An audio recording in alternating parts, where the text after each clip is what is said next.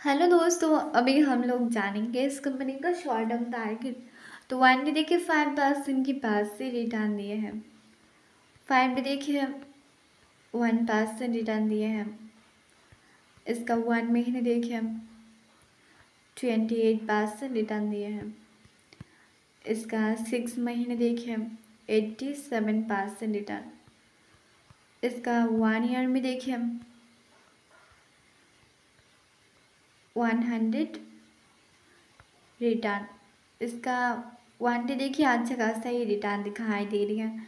Graph का move भी ऊपर है नेक्स्ट डे भी थ्री परसेंट के पास से रिटर्न देने वाला है। इसका मार्केट साइज़ देख सकते हो। और इसका ओपन देख सकते हो हाई लो देख सकते हो। तो आज के लिए इतना ही, काफ़ी। मैं god bless you good bye दोस्तों।